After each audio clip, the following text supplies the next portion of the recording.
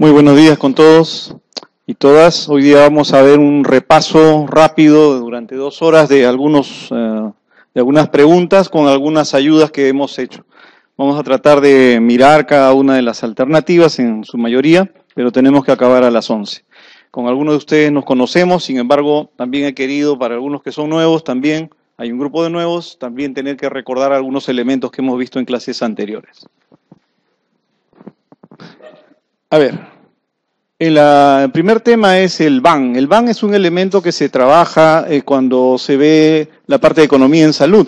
En economía en salud nos señalan algunos estudios que hemos señalado también que son los correspondientes a estudios parciales, estudios económicos parciales y estudios económicos completos, ¿no? Entonces acá nos dicen, respecto al BAN, valor actual neto, señale cuál es la opción incorrecta, o sea, la que no es. Entonces dice, corresponde a diferencias actualizadas entre el flujo de beneficios y costes de un proyecto de inversión. No es una medida habitual de rentabilidad en valores absolutos de proyectos de inversión o de los programas sanitarios en el análisis costo-beneficio. Si, si es mayor que cero, el BAN mayor que cero, el proyecto examinado resulta económicamente rentable y si es igual a cero, el proyecto resulta indiferente. Y si es menor que cero, pues el proyecto no es económicamente, no es variable, sino viable, pónganle acá, ¿no? Hay un error acá no es económicamente viable. Entonces, para contestar esto necesitamos pues tener un poco de teoría, si no, no vamos a poder responder.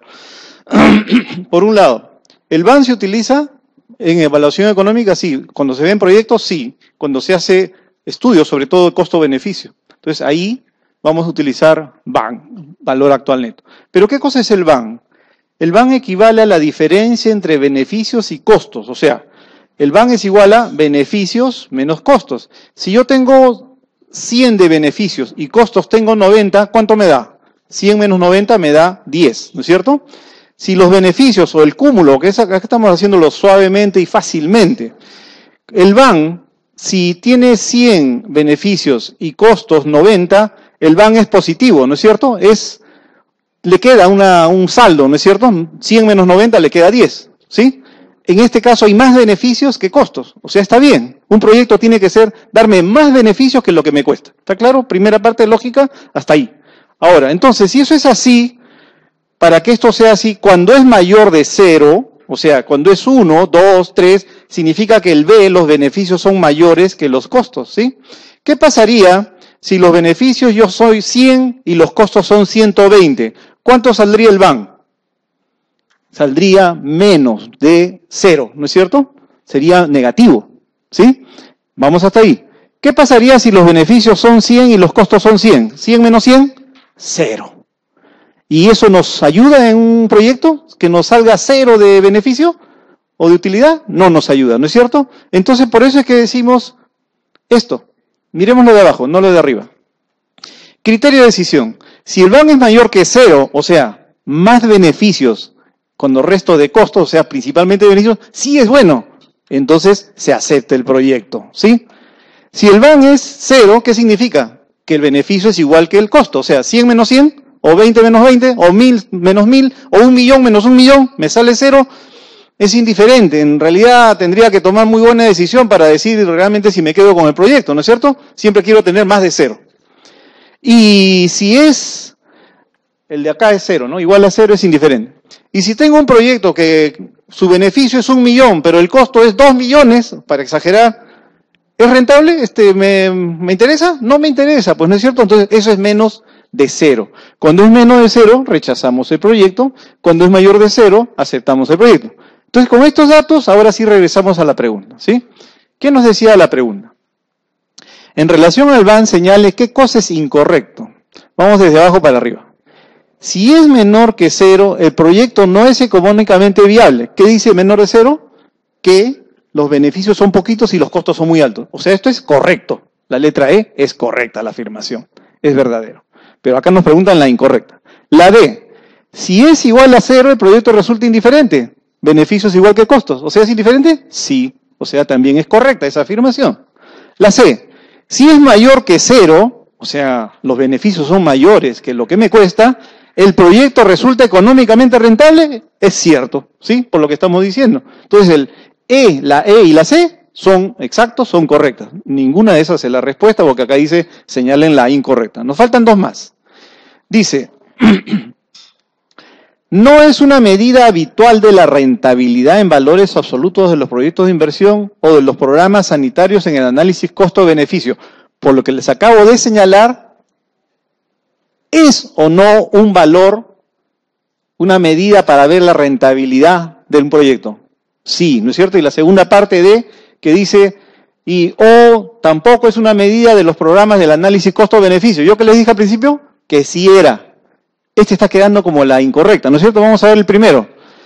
¿Corresponde a las diferencias actualidades entre los flujos de beneficios y costos de un proyecto? Efectivamente.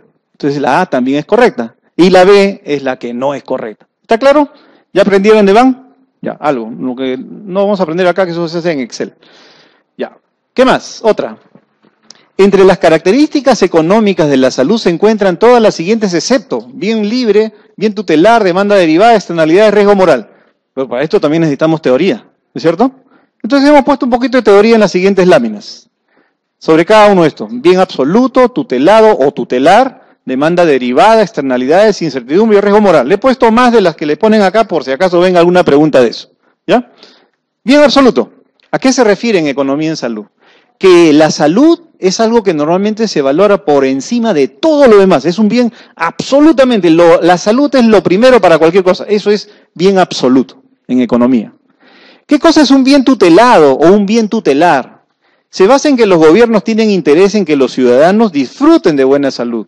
Por ello, el Estado suele ejercer una función de tutela, o sea, de que va a proteger, que va a llevar, que va a hacer que eso se promueva, ¿no es cierto? Una función de tutela en la atención sanitaria, facilitando el acceso a esta atención sanitaria a toda la población. Por eso en la parte de economía en la salud es un bien tutelado, ¿no? La salud es un bien tutelado. ¿Por quién? Por el gobierno, ¿no? Sea local, sea regional. ¿Qué otro tema? Demanda derivada. ¿A qué le llaman demanda derivada? que en el ámbito de los servicios sanitarios, el comprador del servicio, o sea, los, los, pacientes en el caso, pero también en la parte preventiva serían los usuarios de un chequeo preventivo sin ser paciente, ¿no? El comprador, es decir, el usuario, desconoce qué es lo que necesita adquirir para satisfacer su demanda cuando está enfermo. Por ello, se deriva, de acá viene la palabra demanda derivada, se deriva la demanda al profesional sanitario, quien es el que indica los servicios que le hacen falta al paciente porque éste, el paciente, lo desconoce, ¿no? Ahí hay una asimetría de información, el médico está preparado a eso, entonces hay una demanda que es derivada por la parte sanitaria, ¿sí? Demanda derivada. ¿Qué cosa es externalidades? Cuando alguien hace algo, produce efectos secundarios o terciarios. Y esto puede ser positivo o puede ser negativo, ¿no? Entonces, son los efectos de beneficio o de pérdida, o sea, perjuicios, que se producen en terceras personas debido a las interacciones de otros con el sistema sanitario. Vamos a ver las dos partes. Externalidad positiva, que viene a ser un beneficio por externalidad, si los demás individuos se vacunan, un ejemplo, el que no se vacuna sale, acá pónganle también, le falta una N, sale ganando porque los demás dejan de ser posibles fuentes de infección para él, o sea, el que no ha sido vacunado. Entonces hay una externalidad positiva, ¿no? De alguna manera, ¿sí? Pero también debería vacunarse. Pero vamos al ejemplo como está escrito. Externalidad negativa. Hay individuos que fuman. El que no fuma sale perdiendo. Por un lado, porque también se convierte en un fumador pasivo, pero acá también económicamente habla por qué. Porque el que no fuma va a disponer de menos recursos de atención sanitaria. ¿Por qué? Porque el que fuma va a gastar más, va a hacer gastar más al sistema sanitario, ¿no es cierto? Por las complicaciones que va a tener. Y como los recursos no son suficientes ni son abundan, alguien que consume muchos recursos significa que alguien va a tener que disminuir el gasto en salud. Eso entonces es negativo para las personas que no fuman. ¿Está clara la, la idea? Externalidades son positivas cuando en función de que hago algo, de todas maneras le cae, le llueve pues en positivo, gana, ¿no? Y en negativo es yo hago algo y alguien sin quererlo sale perjudicado también, ¿no? Aparte de lo que sucede conmigo. Externalidades. ¿Qué otra cosa? Incertidumbre. Esto es más sencillo de entender. Es la falta de certeza. En la medicina hay una incertidumbre muy grande en las cosas, ¿no es cierto? Alguien dice, yo, yo sé el diagnóstico. Momentito, curva de Gauss. Yo puedo tener el mejor diagnóstico, pero cuando era yo estudiante hace muchos años, ¿no? Yo miraba así un poco perplejo al profesor Pasalacua, que creo que ya falleció en el hospital del niño. El profesor Pasalacua era uno del mejor radiólogo del Hospital del Niño. Yo soy pediatra. Y cuando estaba estudiante, ni siquiera como residente, pasaba su servicio y le decían, le venían de todos los servicios a preguntarle su opinión. Y miraba una placa, lo miraba de una forma, de otra manera, le hacía su circulito, pedía que alguien más lo vea, es decir, diferentes posiciones para mirar la placa. Y finalmente le decía, no tiene nada. Entonces uno decía, ¿por qué se ha demorado tanto si no tiene nada? ¿No? El, el que no sabe, pues no es cierto. Pero ahí significa la...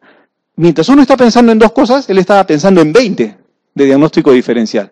Entonces la incertidumbre en medicina es muy amplia, falta de certeza sobre la demanda sanitaria que se puede producir y también hay incertidumbre sobre la efectividad de muchas cosas.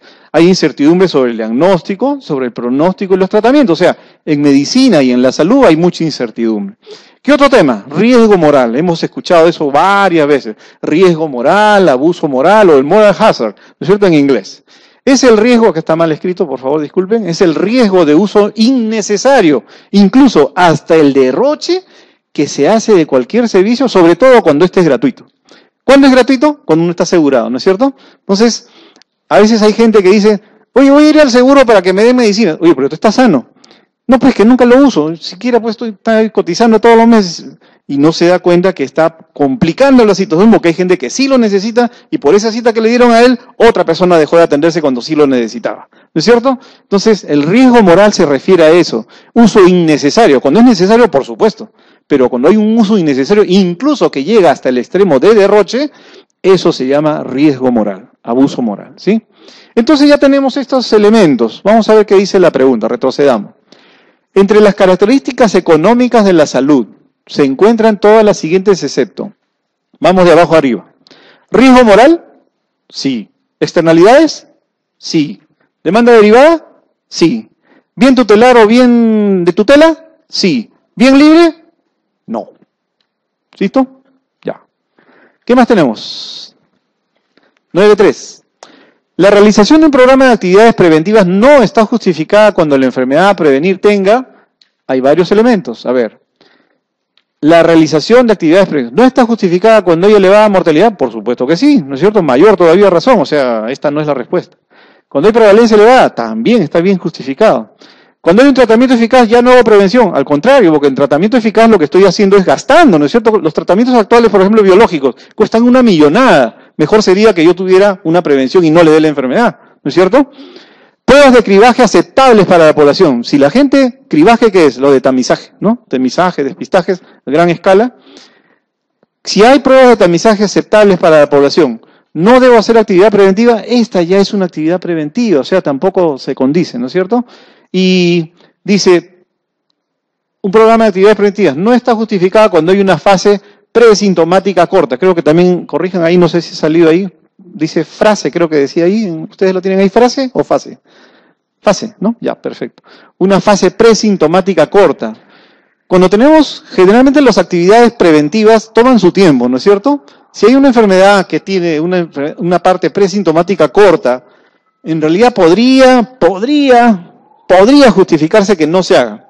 Pero en realidad mi formación me dice que podemos prevenir todo todo, incluso las complicaciones, ¿no es cierto? ¿Qué cosa dice el resultado de Aspefan en cuanto a esta pregunta? Ponen la última. Bueno, yo le doy la razón porque todas las cuatro anteriores definitivamente no, no justificarían que no se hagan actividades preventivas. O sea, la más así, que está saliendo del esto es la E, una fase presintomática corta. Es la respuesta confirmada. Acá para señalar las fases de recuperación, a la derecha, ¿no es cierto? Enfermedad, recuperación. Salud, promover la salud. Y prevención, ya, todo lo que tenemos que hacer. Y las fases, cuando tenemos acá de prevención secundaria, el cribaje y tamizaje va en la prevención secundaria, que es de detección precoz y tratamiento temprano. Cuando decimos tamizaje, esos son los cribajes, ¿sí? Y la tercera es lo que siempre hemos sabido, recuperación y rehabilitación, ¿no? La protección específica es la prevención primaria actual y antes se señalaba era promoción de la salud dentro de prevención primaria. Los que han escuchado la clase anterior, ahora ¿cómo se le llama promoción de la salud de acuerdo a OMS? Prevención primordial. Entonces tenemos cuatro prevenciones. Prevención primordial, que es la de promoción de la salud. Prevención primaria, que es la clásica prevención la prevención secundaria, que es la de tamizaje, diagnóstico precoz y tratamiento temprano, y la terciaria, que incluye la recuperación y la rehabilitación. ¿Qué más tenemos? Otra pregunta. En una auditoría de la calidad de las historias clínicas, a ver, tenemos que enfocar bien. Yo no estoy viendo solamente historias clínicas, estoy viendo la calidad de las historias clínicas. Yo tengo que haber señalado dónde están los problemas y después establezco mi input, proceso, output, para los que tuvieron en clase, que eran sinónimos de qué? Sinónimos de qué? Ingreso, proceso, salida. Ahorita vamos a ver eso. A ver, dice, en una auditoría de la calidad de historias clínicas, solo uno de los siguientes sería un indicador de proceso. A ver, superficie de la sala de archivo, de historias. Humedad y temperatura adecuadas, porcentaje de historia clínica con análisis correcta, competencia y grado de formación del personal, mejora del estado de salud de los individuos. Todas parecen parecidas, ¿no? ¿Cuál será el proceso? Tenemos que recordar entonces lo que hicimos acá. Habíamos dicho que hay sinonimias. Entrada, esto es teoría de procesos, ¿no es cierto? Teoría de sistemas. Proceso. Para que nosotros tengamos un producto o servicio acá, tiene que haber primero un proceso, una interacción de una serie de elementos y la entrada, proceso y salida. Otro sinónimo es input, proceso, output. Y el otro, de donde salen los indicadores, es estructura, proceso y resultado. Entonces los indicadores de estructura van a estar acá, los indicadores de proceso van a estar acá y los indicadores de salida van a estar. Pero, ¿y cómo se come eso? Cuando hemos hecho la clase, ahora no tenemos mucho tiempo, pero rápidamente, un recordario. Si yo tengo acá la salida, un zapato, quiero fabricar zapatos, es mi producto final, yo tengo necesidad primero de empezar por el final en calidad. Acá el zapato tengo que saber para quién es, para niños, para adultos, para adultos mayores, es para hombres, para mujer, qué modelo es de invierno, de verano, de otoño, es para costa, sierra, selva y dependiendo de las características de lo que piensa la gente, si quiero venderlo, tiene que ser algo que le guste a la gente, ¿no es cierto? Primero tengo que hacer acá entonces ver las características del producto que voy a fabricar. Igualito cuando si tengo un trabajo de parto o una cirugía de gas gástrica o banda gástrica, tengo que establecer las características de esa cirugía, las características de esa atención de parto. ¿Cómo se llama eso en esta parte final que son las salidas o los resultados que yo espero? Eso se llama caracterización del producto o también caracterización del servicio. O sea, coloco las características para yo saber. Un zapato de mujer para adolescentes de la costa que tengan tiritas y que sean de verano. Ya, tengo algunas características. Yo voy a fabricar todo eso. Entonces, ¿y por qué tengo lo demás? Todavía no me habla de lo demás. Porque primero tengo que saber qué cosa es lo que voy a fabricar. Ya, si ya tengo en este ejemplo que acabo de decir, zapato de mujer, de adolescente, con tiritas para la costa y en verano, ya tengo características, ¿cierto? Esa característica, ahora, ¿Qué necesito para fabricar eso? ¿Dónde va? Acá, en entrada. En entrada que su sinónimo es estructura, ¿no es cierto? En estructura. ¿Qué necesito? Eh, si es de mujer, todos los colores que haya de, mujer, charol y todo lo demás, ¿no es cierto? Eh, después, eh, tiritas y brochas, acá también tienen que estar. Todos los elementos para este producto que he caracterizado tienen que estar acá. Pero adicionalmente del modelo que he escogido, tengo que poner en estructura todos los elementos necesarios para culminar en este producto. Es decir, ¿necesito fabricantes o, pongo todos los elementos en una masa y solita se produce el zapato? No, ¿no es cierto? ¿Qué necesito? Si tengo todos los elementos, tengo que saber qué va primero, qué va segundo. Primero corto la suela, después quién coloca tal o cual. Ah, si hubiera robótica, necesitaría un robot que sepa armar un zapato, ¿sí? Si no hay robótica, ¿qué necesito? Personas que hagan el ensamblaje de cada parte del zapato. Entonces acá en, en, estructura tengo que tener todos los elementos necesarios para tener este producto. Entonces acá tendré una persona calificada en lo que es armado de zapatos, otra persona encargada del corte del cuero, el de la suela, de la preparación final, eso en cuanto a personas, recursos humanos. En cuanto a equipamiento, cortadoras de, cortadoras de cuero, cortadoras de tal o cual, todo lo aquello que sea necesario. Y para saber cómo se ensambla el zapato, qué cosa voy a tener, qué cosa, cómo se llama aquello que me dice, punto uno, hace esto, segundo, hace esto, tercero, hace esto. Esa relación así, que tiene que ser uno después del otro, una secuencia, ¿cómo se llama? un procedimiento, ¿no es cierto? En medicina, cuando tenemos un procedimiento para una enfermedad, ¿cómo se llama? ¿Cómo se llamaba antes? Se llamaba protocolo, ¿no es cierto?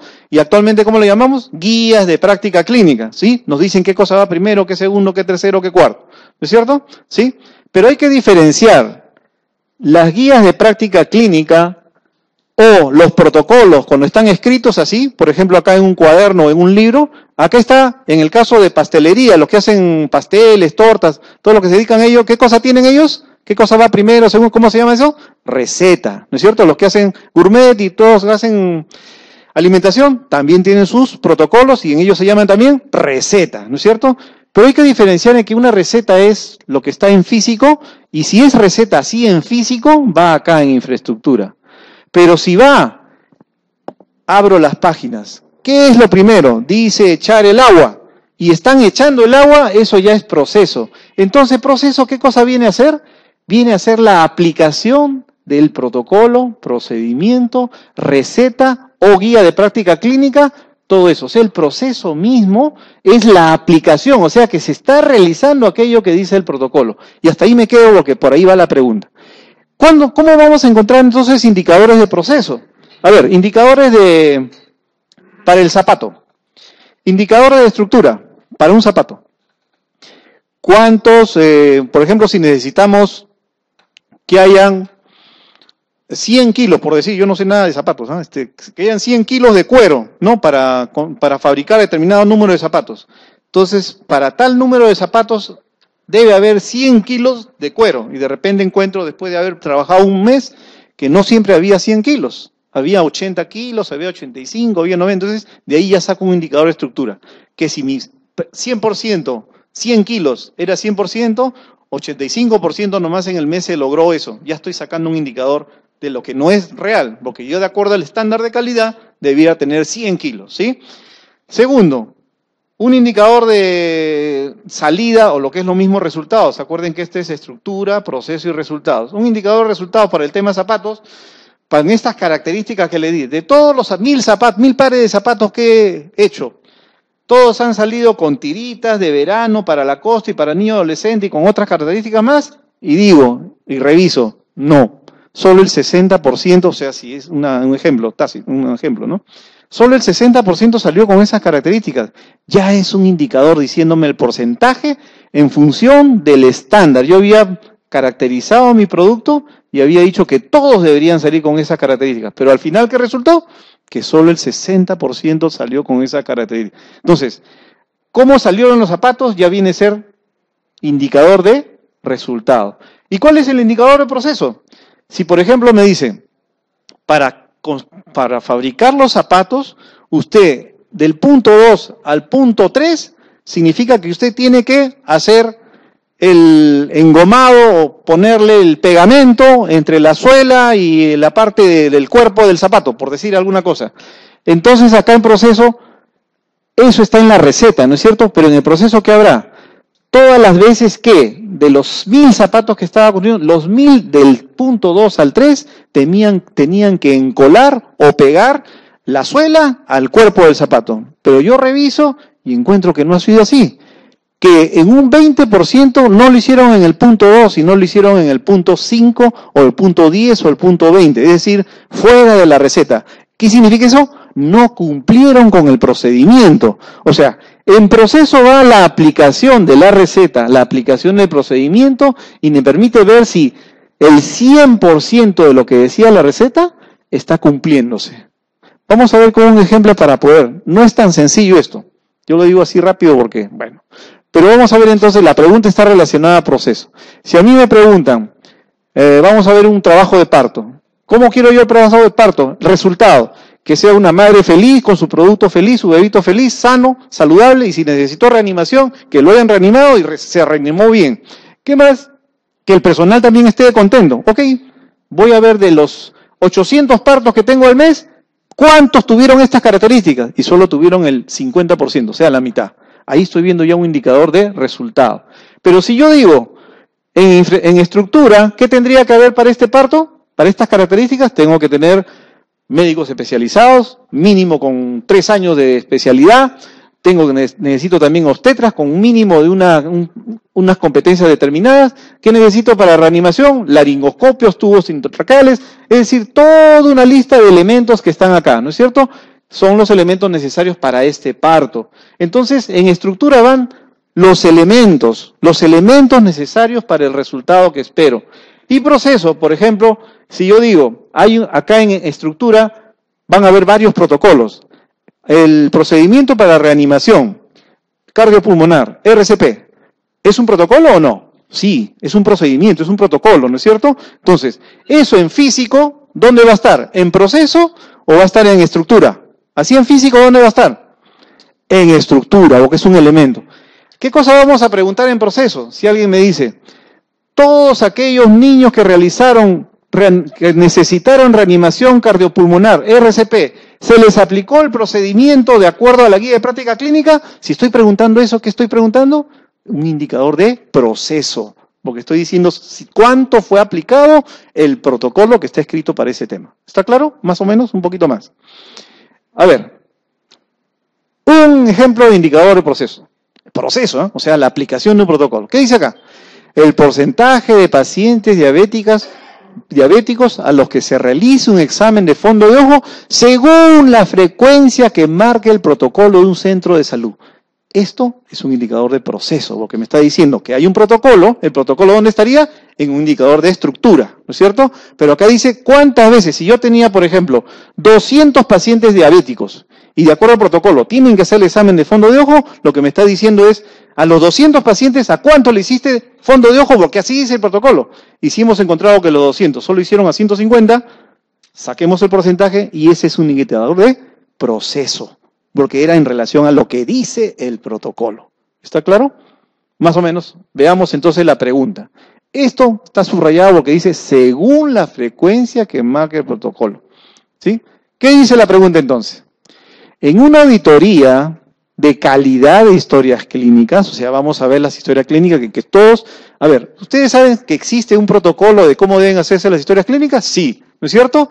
Los auditores cuando revisan nuestras historias clínicas, revisan, primerito, lo que falta casi siempre, sello, no está el sello del médico, luego de la atención, ¿no es cierto? Segundo, la firma, tampoco, a veces está el sello y no hay firma. Tercero, fecha y hora ponen fecha nomás. ¿De qué hora será? Pues alguien se murió en la tarde y no tiene fecha. No sabemos qué pasó en la mañana y de qué hora fue esa, esa atención. O sea, hay varias cosas como esa. Todo está protocolizado. ¿Y en qué hoja debe ir tal o cual? Esos son estándares que está protocolizado. Entonces, dice acá, vamos a mirar la calidad de historias clínicas. Solo uno es indicador de proceso. Dice, para ustedes tener calidad de historias clínicas, dice, superficie de la sala de archivo de historias clínicas, superficie. ¿Por qué? Si nosotros queremos que las historias clínicas estén bien, bien conservadas y también se estén al interior todo lo que corresponde, eso sería el resultado esperado, ¿no es cierto? Un indicador de resultado sería cuántas historias están debidamente almacenadas y con todos los requisitos dispensables, que tiene fecha, tiene hora, tiene un cuerpo, tiene SOB, ¿no es cierto? Tiene también la firma y sello del médico, eso sería resultado. ¿Cuántas? Y alguien dice, el 100% de las historias tiene todo. Excelente, es un indicador de resultado. Para que tengamos eso, acuérdense de lo que decíamos acá, para que tengamos eso, que es la parte final, ¿qué elementos necesita? Que serían los indicadores de estructura. ¿Necesito un sitio de almacenamiento? Sí, ¿no es cierto? ¿Eso sería un indicador de estructura? Sí. De todas las historias, y tenemos varios servicios, todos tienen un área, una superficie para almacenar historias, ahí sale un indicador de estructura. Tenemos personas que también deben saber de archivo. Tenemos personas. ¿Cuánto personal contamos? Y se supone que debe haber uno cada 10.000 historias. Tenemos un archivístico que hace eso, también sería un indicador de qué? De estructura, ¿sí? Pero si me dicen, ¿Cuántas de las historias tenían, contaban con sello, de acuerdo a lo que dice el protocolo de historias clínicas? ¿Qué sería indicador de qué? Proceso. Porque me está diciendo que el protocolo dice que tiene que estar firmado y sellado y estamos averiguando cuántos tuvieron en lo que estoy mirando. ¿Está claro hasta ahí? Veamos qué dice la pregunta finalmente y ahí nos quedamos. Superficie de la sala de archivo de historias clínicas para que tengan buena historia ¿qué sería? Estructura. Segundo, humedad y temperatura adecuadas para mantener historias clínicas. ¿Qué sería? Estructura también, porque son las condiciones y elementos para que tengamos el final. Tercero, porcentaje de historias clínicas con anamnesis correcta. Ajá. Vamos a ver, vamos a seguir, nos detenemos después acá. Competencia y grado de formación de personal de administración de archivos. O sea, los elementos también que necesitamos, ¿no es cierto? ¿Qué sería? Estructura. Y el último, mejora del estado de salud de los individuos atendidos, a partir de que hay historias buenas, que sería resultado final, ¿sí? Sería también resultado. Vamos a, analizar el tercero. Perdón. Porcentaje de historias clínicas con análisis correcta. El protocolo de la historia clínica, los que conocemos historia clínica, hay que hacer un buen anamnesis, ¿no es cierto? En el protocolo está escrito así. Entonces acá nos dice, de todas las historias, ¿cuántas han hecho el anamnesis de forma correcta? ¿Qué cosa es? Es un indicador de proceso. ¿Sí? Esta es la respuesta. ¿Cuál es el indicador de proceso? El C. Espero, a ver, con esto y esto hemos reparado eso. Otra. ¿Cómo se denomina el índice con el que se trata de medir en términos relativos la oferta hospitalaria disponible en un área geográfica concreta y que se determina mediante la relación por cociente entre el número de camas con el que se cuenta para su uso inmediato por parte de enfermos susceptibles de internamiento y, denominador, el volumen de población correspondiente al ámbito geográfico. Si me estás diciendo camas sobre población, densidad de servicios sanitarios, no es. Demanda sanitaria expresada, tampoco. Densidad de camas puede ser, demanda sanitaria opcional. Estos son grandes temas, el A, B, el D y demanda aleatoria, ni hablar. Si me están diciendo camas, bueno, acá fácilmente lo es densidad de camas, pues. Camas sobre la población, densidad de camas. C, la respuesta correcta. Otra. La causa de la mayor parte de las desigualdades sanitarias entre los países y dentro de cada país son los determinantes sociales de la salud. Y estos corresponden a los determinantes sociales. Accesibilidad y demanda poblacional son algunos de los determinantes, ¿no es cierto? Pero me dicen que los determinantes a qué corresponden. O sea, dentro de los determinantes está accesibilidad y demanda. Cultura y nivel son parte de los determinantes, pero no dicen los determinantes a qué corresponden. ¿Me dejo entender? Estilo de vida, hábito, consumo también son parte de los determinantes, pero es hacia adentro. No me dicen los determinantes como tal a qué corresponde. Factores estructurales y el último, proceso de atención, esta última E no tiene nada que ver. Pero los determinantes son factores estructurales y circunstancias de vida, sí. Los determinantes como tal son factores estructurales, ¿sí? La letra D. Otra. Un establecimiento de salud realiza acciones de florización del agua para consumo humano en las localidades de jurisdicción para prevenir la caries. Floriza el agua, ¿ok? ¿Es una intervención comunitaria? Puede ser. ¿Participación comunitaria? No. ¿Acción social? Tampoco. ¿Promoción de la salud? Sí, es parte de la promoción, pero es muy grande el término de promoción de la salud. Sí, vamos a dejarlo un poco de lado. Intervención sanitaria puede ser. Hay dos intervenciones, la A y la E. Intervención sanitaria es la que hacemos principalmente a través de lo que siempre hacemos, a través de la parte recuperativa, con los médicos, con lo demás, lo, usual, lo clásico. ¿Eso es lo que estamos haciendo acá? No. La otra intervención comunitaria, que es una intervención en la comunidad para proteger a la comunidad, sí lo es. Entonces la respuesta es intervención comunitaria. ¿Qué más? En la educación sanitaria, el modelo que fomenta el autocuidado, y promueve la participación activa y responsable de los usuarios en todos los niveles de decisión. ¿Corresponde a qué modelo?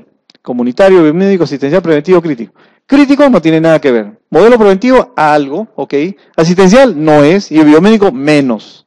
Nos quedamos con preventivo y comunitario. Entonces, educación, modelo, autocuidado, promueve participación activa y responsable de los usuarios dentro de preventivo y comunitario. Comunitario, fuertemente. Letra A, respuesta adecuada.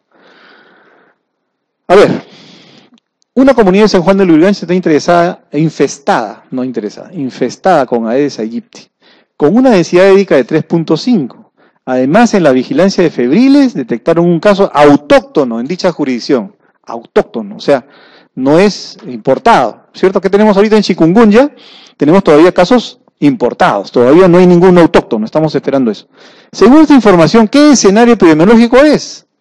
Entonces tenemos que conocer cuáles son los escenarios que existen. ¿Será el 2, 2A, 2B, 3, 3A, 3B, 3C, 3Z, 1A, B, C? ¿Cuáles son los escenarios? Tenemos que conocerlos. Y eso está acá. Cuando se hablaba todavía de la parte de eh, dengue hemorrágico, que ya no se habla, ahora son tres tipos, ¿no? Dengue sin, signos, sin signos de alarma, con signos de alarma y dengue grave, ¿no es cierto? Ya. En esa época anterior, todavía es donde más se escribe eso, acá están los escenarios, ¿no? Epidemiológicos.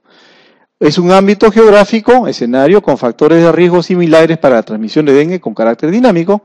Esta área geográfica puede pasar del escenario 1 hasta el escenario 3 o viceversa, del 3 al 1. Se estratifican. Escenario 1. Hay presencia de factores de riesgo, el ámbito geográfico con presencia de factores de riesgo tipo ambiental y migración para la introducción. Nada más, todavía no hay casos, ¿sí? ¿Es escenario 1 la pregunta? No. Escenario 2. Presencia del vector, pero sin casos autóctonos. ¿Es el caso de la pregunta? No. Escenario 3. Presencia del vector y casos autóctonos. Hay un, hay un índice aédico, ¿no es cierto? 3.5 y además hay un caso autóctono. Ya, por lo menos hay un caso autóctono. Entonces, ¿es el 3? Sí. ¿Y del que se divide en A y B es el 2A, 2B? No, es el 3A y 3B. Entonces estamos quedándonos con el 3. Regresemos a la pregunta. Índice aédico 3.2 y hay un caso autóctono. ¿Es 2? No. 2A, 2B, no existe 2A, 2B. ¿Es 3? Sí. ¿Y 3, 1? ¿Es 1? No es. Respuesta. Tercero, 3 romano. La letra D de dedo. ¿Qué más?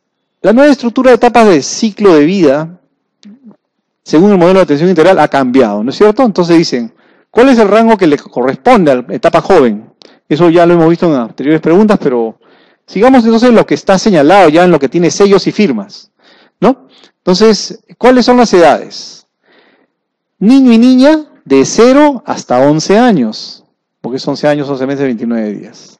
Adolescente, desde los 12 años hasta los 17 años, 29 días, pero es de 12 a 17 años, ¿sí? Joven, de los 18 hasta los 29, 11 meses, pero es 18 a 29. Adulto, 30 a 59. ¿Por qué? Porque el adulto mayor ya es de 60 para arriba. ¿Está claro? Esas son las etapas oficiales. ¿Qué dice entonces la pregunta? ¿Etapa joven de dónde a dónde es? De 18 a 29. Listo. Seguimos. Si quiero evaluar las consecuencias sanitarias en términos monetarios de la aplicación de un programa de prevención, el análisis indicado consideraría una relación entre costo-beneficio del programa, costo-eficacia, costo-efectividad, costo-eficiencia, costo y rendimiento. Acá ya nos marearon si no conocemos lo básico de economía en salud, ¿no es cierto? Entonces yo no sé a ver, pasaremos muy rápidamente antes de entrar a esto. La pregunta dice, para evaluar las consecuencias en términos monetarios de la aplicación de un programa, el análisis consistirá en... Entonces acá nosotros hablábamos en las clases anteriores que tenemos evaluaciones económicas completas que nos hablan de estudio costo-beneficio, costo-utilidad, costo-efectividad y minimización de costos. Aquella vez no hablamos de minimización de costos. Hablamos de estas tres. Pero esta característica de evaluación completa es cuando se miran los costos de la intervención y los costos de los resultados. Y ahí decíamos, si yo me paraba al frente y decía, si tenemos enfermedades, pacientes con enfermedad crónica, renal, tenemos, en ese ejemplo, tres intervenciones diferentes, ¿no es cierto? Pueden haber otras. Diálisis peritoneal, hemodiálisis y trasplante renal. Son tres diferentes, ¿no es cierto? Si yo evalúo los costos, ¿cuánto cuesta una terapia de diálisis peritoneal? Solo estoy haciendo una evaluación completa y una evaluación parcial. Solo parcial. Si yo mido los costos de la, de hemodiálisis y los costos de los resultados del hemodiálisis, de los resultados de esa intervención, pero solamente estoy viendo hemodiálisis de la intervención y de sus resultados, ¿es una evaluación completa? No. ¿Por qué? Pero si estoy mirando costos de la intervención y también de sus resultados. Sí, pero solo está mirando una intervención. ¿Cuándo es evaluación completa? Cuando uno está mirando los costos de la intervención y de sus resultados, pero por lo menos hay dos intervenciones que estamos evaluando a la vez. Ejemplo, si yo tengo entonces una diálisis peritoneal, costo de la diálisis peritoneal, con sus resultados, y segundo, a la vez, veo los costos de la hemodiálisis y también de los resultados de la hemodiálisis, ahí estoy mirando los costos de la intervención, de sus resultados y además tengo dos intervenciones. Eso sería ya una evaluación completa, si es que hay alguna pregunta en ese sentido. Entonces, completa es cuando tiene por lo menos dos intervenciones en evaluación y se miden tanto los costos del proceso o de la intervención y los costos de la del resultado de esa intervención. Eso es una evaluación completa. Vamos avanzando un poquito más. Esto porque hay una otra pregunta por allá también, y habíamos dicho que eficacia, una cosa rápida. Esto es diferente cuando hablamos de intervenciones de lo que hablamos en gestión. Eficacia, eficiencia, efectividad. Eficacia, ¿qué es? Conseguir los objetivos propuestos, ¿no es cierto? Eficiencia es conseguir los objetivos propuestos al menor costo posible. La literatura dice al menor costo posible, pero yo en la clase le decía sin sacrificar la calidad del servicio o producto. Pero nos quedemos con conseguir los resultados, eficiencia, conseguir los resultados al menor costo posible. Y efectividad, sinónimo de qué es? Impacto final. ¿sí? Impacto positivo, por supuesto. Estos tres conceptos que acabo de darles, cuando hablamos de economía en salud, cambian un poco. Cuando uno, por ejemplo, tiene un medicamento, ¿cómo hace para poder llevarlo después a aplicarlo en la población? Primero se hacen experimentos, ¿no es cierto? Primero se hace en laboratorio, después con animales, después pasa a un grupo de personas y después sale ya al resto, ¿no es cierto? Hay varias fases. Ya. Eficacia, cuando estamos hablando de medicamentos o equipos o intervenciones, eficacia de una intervención o eficacia de un medicamento o de un equipo, eficacia es cuando está realizándose en condiciones ideales, o sea, en el laboratorio, en gabinete. ¿Sí? Alguien puede decir, tengo 98% de eficacia este medicamento. Ya, pero ¿cuál es tu efectividad? Ah, todavía no la tengo. Ya, cuando sea eso, regresas. ¿Por qué?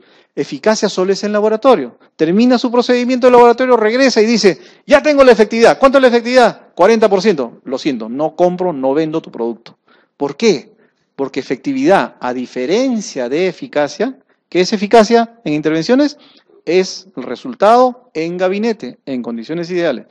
Efectividad para intervenciones es el resultado en condiciones reales, en condiciones verdaderas, en condiciones de la población. Eso es lo que dice acá. Eficacia es la medida del resultado obtenido por una intervención de un problema de salud en condiciones ideales, o sea, en el gabinete. Y efectividad es la medida del resultado obtenido por una intervención en un problema de salud en condiciones habituales, o sea, en la propia realidad, en condiciones verdaderas. ¿Qué nos interesa más a nosotros? La efectividad, ¿no es cierto? Cómo funciona en la población y no solamente en gabinete. ¿Qué más tenemos en economía de salud? En estos tres elementos que hablábamos de costo-efectividad, costo-beneficio y costo-utilidad, habíamos señalado también que una misma, vamos a mirar la intervención, sea hemodiálisis o trasplante de riñón.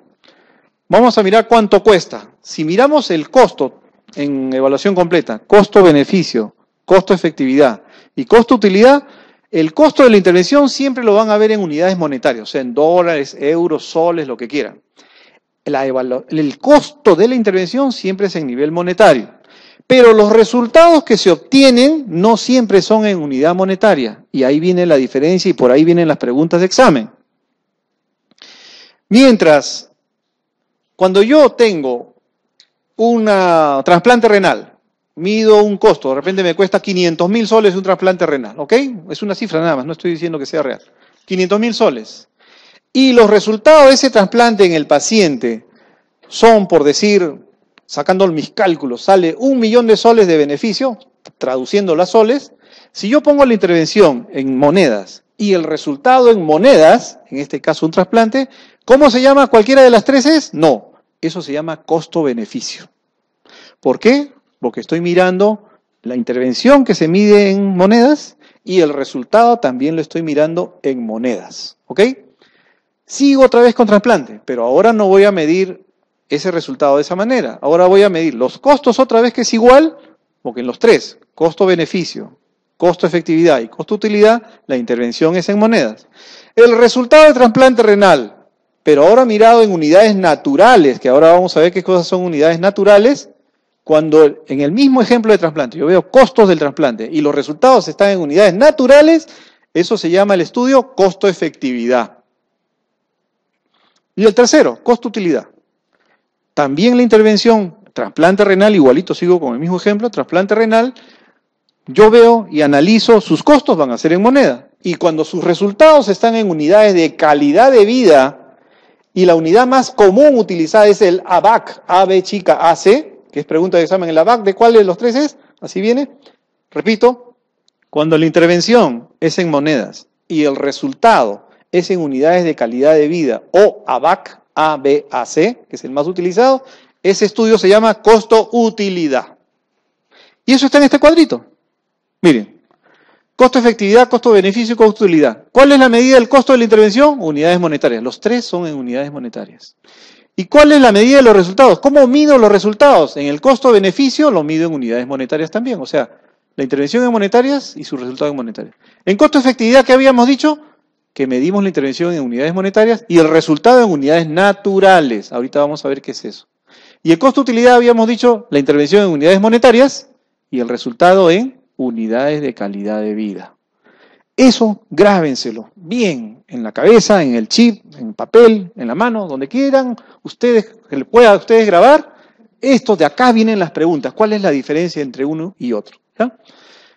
Costo-efectividad que habíamos dicho, el resultado es en unidades naturales. ¿Cuáles son las unidades naturales? Esto que dice acá. Ejemplos. Vidas salvadas o años de vida ganados, incidencia, prevalencia, número de pacientes clínicamente curados, días saludables, eh, enfermos precomente diagnosticados, son ejemplos. Y otros también, colesterol, presión arterial. Todos estos son ejemplos de unidades naturales, a eso le llaman. Cuando el resultado del trasplante renal está en estas, cualquiera de estas unidades, y también el costo de la misma intervención, eso sería un estudio costo-efectividad. Son unidades naturales el resultado. Y costo-utilidad que habíamos dicho, la intervención es en monedas y el resultado es en unidades de calidad de vida o la más utilizada es la, el ABAC. Pregunta de examen. ABAC, ¿qué cosa es? Años de vida ajustados por calidad. ¿Es la única medida de calidad de vida? No, pero es la más utilizada y es la que viene en las preguntas. ¿Qué otra medida de calidad de vida tenemos? ABA Quali, ABA y DALIS, ABS, todas estas que están acá, juventud arroba equivalente, no vamos a entrar a más, simplemente para conocimiento y que sepan que no es la única. La que viene en pregunta examen es unidades de calidad de vida o a veces dicen el ABAC, unidad de qué cosa es, de resultado de qué, así vienen las preguntas. Y esto ya resume todo lo que hemos dicho. Costo-beneficio. Análisis en que tanto los costos como los beneficios se expresan en unidades monetarias. Costo-efectividad Análisis en que los costos se expresan en unidades monetarias y los efectos en unidades habitualmente utilizadas en la clínica, que son las unidades naturales. Costo-utilidad. Análisis en que los costos se expresan en unidades monetarias y los beneficios en ABAC, años de vida ajustados por calidad. Este es el resumen. Hasta ahí acaba nuestra clase de economía en salud y vamos a la pregunta entonces. Ahora sí ya podemos regresar a nuestra pregunta antes de eso. Acá dice, si quiero evaluar las consecuencias sanitarias, consecuencias son los resultados, ¿bien? En términos monetarios de la aplicación de un programa de prevención, los resultados en unidades monetarias, ¿cuál es? Costo beneficio, perfecto, ¿sí? Estamos. Costo y beneficio del programa, ¿verdad? Porque el otro dice costo eficacia, eso no es costo efectividad, ¿qué cosa es? Unidades naturales, no es costo eficiencia, no es tampoco, eso es otra cosa. Perfecto, costo-beneficio, la letra A. Y todo ese tiempo lo hemos invertido porque hay otras preguntas parecidas. Entonces de ahí vamos a sacar lo mismo. Siguiente pregunta. Dice, en relación a evaluación de resultados, otra vez, miren, esta es más amplia, pero si hemos captado esto que he querido que capten, vamos a resolver. En relación a evaluación de resultados, indique la afirmación falsa. ¿Qué hora es? Faltan cinco para las diez. Uno y cinco minutos. ¿Cuál dice? Indique lo que es falso. A ver, A. En la evaluación de resultados de un proyecto sanitario de cara a hacer una programación, los costos que, ocurrirán en un futuro tienen mayor valor que los que ocurren inmediatamente al aplicar el programa. Esto dejémoslo ahí todavía. Vamos a los otros. La eficacia mide la capacidad de intervención de funcionar en condiciones ideales. ¿Verdadero o falso? Verdadero, con lo que acabo de decir, ¿cierto? En condiciones ideales, o sea, en gabinete. La efectividad mide la capacidad de intervención de funcionar en la práctica clínica habitual. ¿Eso es verdadero o falso? Verdadero también, por lo que dije, ¿no es cierto? Ah, ¿La efectividad mide la capacidad en práctica clínica virtual? Sí, es cierto. Otra, ¿la eficiencia determina si una intervención compensa o es rentable desde el punto de vista económico? La eficiencia sí, porque hemos dicho, ¿se consiguen los objetivos al menor costo posible? Efectivamente es así. Otra, la minimización de costos analiza si dos alternativas en evaluación son similares o equiparables en eficacia y efectividad para poder optar por la más económica. Vamos a ver la E y la T. Necesitamos un poquito más de teoría para poder responder eso. Entonces, los tipos de evaluación que hemos dicho, costo-efectividad, costo-beneficio, costo vamos a detenernos en minimización de costos. Minimización de costos, veamos lo que está abajo. Abajo se entiende mejor. Comparación de dos programas con consecuencias idénticas. La evaluación económica es la búsqueda de una alternativa de menor costo. Un ejemplo es, por ejemplo, a ver, tengo una intervención, pongamos, ¿ah? no es lo real, pero pongamos, que yo hago hemodiálisis en un paciente renal, ¿sí? Y a los 5 años tienen una sobrevida del 80%. Hago trasplante renal y a los 5 años tienen 80% de sobrevida, o sea, la misma sobrevida, el mismo resultado, ¿sí? Entonces, cuando tengo los mismos resultados, Ah, entonces voy a ver cuánto cuesta cada uno. Trasplante renal cuesta 500 mil soles y el hemodiálisis en total en los cinco me ha costado menos. De repente, pongamos que cueste menos, la mitad. Eso es minimización de costos. Para cuando hay dos intervenciones o más que tienen el mismo resultado, hay que mirar cuál cuesta menos. Algo tan sencillo como eso, ¿cómo se llama? Lo complicado. Minimización de costos. Eso es lo que dice acá.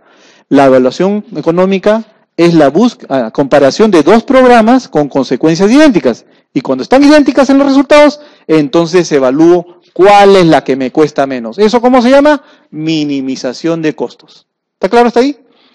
Vamos un poquito más. Por ejemplo, este es un, esto está hablando, atención de partos. Un centro de salud tiene sus propios costos, ¿no es cierto? Un hospital, por ejemplo, que yo tenga en mi centro de salud, en el Policlínico Angamos, no, el Policlínico que está cerca, ahí en Jesús María, un policlínico, y después que se tenga en el Revaliati, un parto normal. El costo en el Revaliati es enorme, simplemente desde la superficie y todo lo que tiene que gastar. Por cada parto casi cuesta el doble en el Revaliati, parto normal, versus en un centro de salud o un policlínico. Entonces, eso, si los dos van a tener el mismo resultado, pongamos que estén al mismo estándar de trabajo, de procedimientos, protocolos y de práctica clínica, ¿ok? Tengan todo, perfecto. Si eso es así, Acá, por minimización de costos, deberíamos decir, acá el costo es 300 y acá es 180, un trabajo de parto. ¿Dónde deberían atenerse si los dos tienen los mismos resultados? ¿Dónde debería? Acá. O sea, eso es una forma de decir minimización de costos. Para el mismo resultado, busco el que menos cuesta. ¿Sí? Ya si el resultado es diferente, ya es otra evaluación. Acá recordando lo de eficacia y efectividad, esto en condiciones ideales, esto es en la práctica verdadera. Y finalmente, otras premisas que tenemos que tomar en cuenta. Dos programas con la misma razón de costo-efectividad pueden tener diferentes costos. Dos programas con la misma costo-efectividad pueden tener diferentes beneficios. Esto, por lo menos en las preguntas que, nos, que nos han dado, no están, pero por si acaso. Esto sí quiero que lo, lean bien. Los beneficios que ocurren inmediatamente, o sea, hoy día, tienen un mayor valor que los que ocurrirán en el futuro. El valor de algo que hago hoy día tiene más valor de lo que hago en el año 2021. ¿Está claro? No es al revés. Alguien dice, el 2021 va a costar mucho más, tiene mayor valor que lo que hago hoy día. No, señores. Lo que hago hoy día tiene mucho más valor, tiene más valor que lo que hago el próximo año, o de acá dos años, o acá diez años. ¿Está claro? Eso quiero que se lo peguen acá también en el chip. ¿Sí? para regresar a la pregunta. Creo que no hay más. Sí, regresamos a la pregunta entonces. Acá está. Ahora sí vamos a poder responder. Dice, en la relación de evaluación de resultados indique lo que es falso. Y habíamos quedado con el A y E nada más, ¿no es cierto? Empecemos con el A que es minimización. La minimización de costo analiza si dos alternativas son similares o equivalables en eficiencia y efectividad para poder optar la más económica. ¿Eso es cierto o no? Sí con lo que hagamos de aprender. Entonces, esta no es la respuesta, porque dice la falsa. ¿Qué nos queda? La A, hay que comprobarla. A ver, en la evaluación de los resultados de un proyecto sanitario, de cara a hacer una programación, los costos que ocurrirán en el futuro tienen mayor valor que los que ocurren inmediatamente al aplicar el programa. Esto es falso. Por lo que acabamos la última premisa que les hice leer. ¿Se acuerdan? Listo. Se acabó. Vamos más allá. Otra pregunta.